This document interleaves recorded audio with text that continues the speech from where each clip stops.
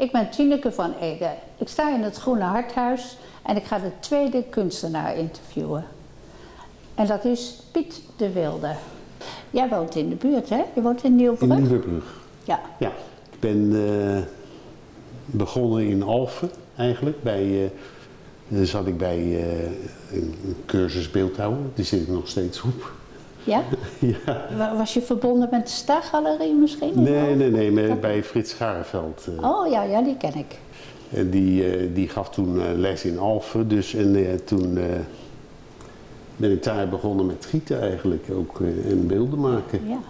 Je maakt beelden, ja, heel veel in brons. Ik, ik begin met, met was. Ja, ja. En dit, dit blijft gewoon altijd, dit kan je zo bewegen, eh, Ja, dat is aan was. elkaar plakken. Dit is, dit is kneepwas, ja. Ja. Met nog een hoop luchtkanalen eraan. Want als ik bijvoorbeeld door de voeten giet hier, door de poten, dan, dan moet hier een luchtkanaal aan, omdat er geen lucht in blijft zitten. Ja. En dan die oren ook.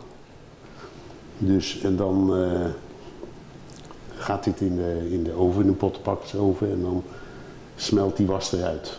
En dan hou ik hem helemaal over. En eh, En als je dat bronschieten doet, ik zag een keer een foto op je website, hè? Ja. Eh, dat doe je buiten, het bronschieten? Dat doe ik buiten. Ja? Ja? Ja, Ik had de opdracht gekregen om eh, een, een gezin te maken van eh, iemand. Maar ze bedoelde eigenlijk alleen de kinderen.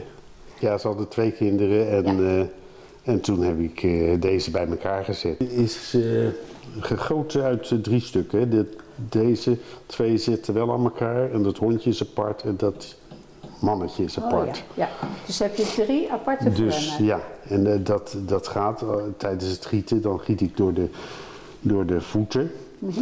En dan zitten er allerlei luchtkanalen aan het hoofd en aan de armen.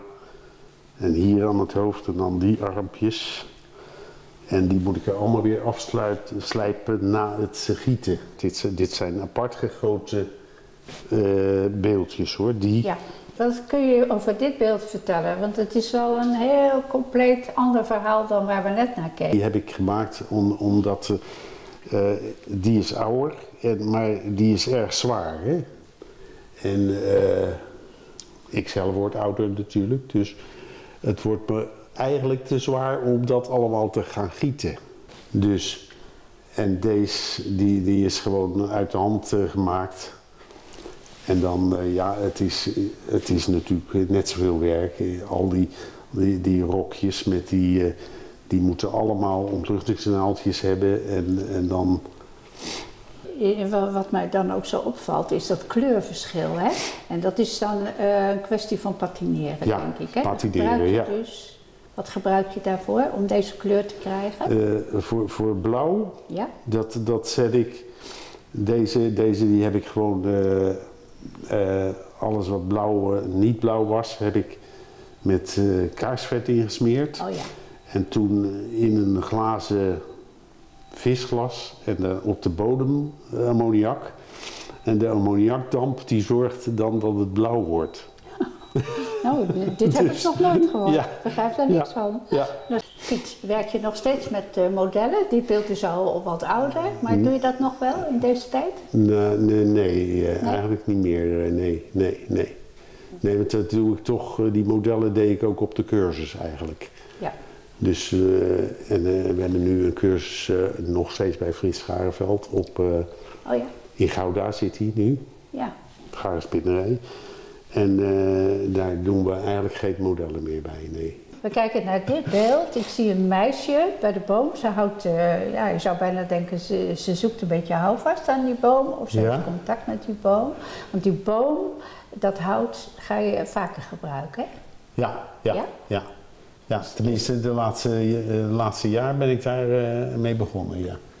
Dus Ja. om... om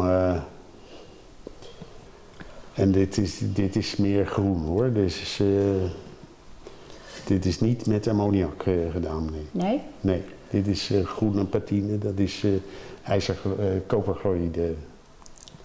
Ja.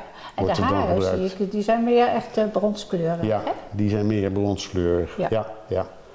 ja. dat is allemaal door, door het patineren van kleine stukjes en dan weer eroverheen patineren. Ja.